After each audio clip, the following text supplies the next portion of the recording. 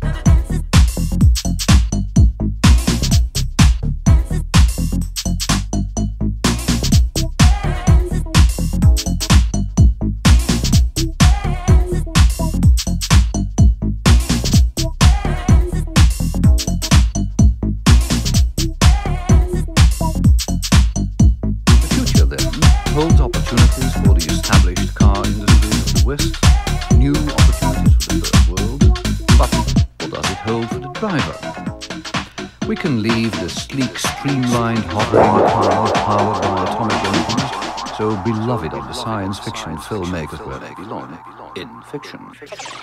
The true car of tomorrow will not be very different from that of today in many ways. Most forecasts suggest that oil will not run out until well into the next century. The true car of tomorrow will not be very different from that of today in many ways. Most forecasts suggest that oil will not run out until well into the next century. More efficient engines will be developed. Other fuels, such as alcohol or extracts from coal and liquid petroleum gas, can be used with petrol to keep the internal combustion engine running into the foreseeable future.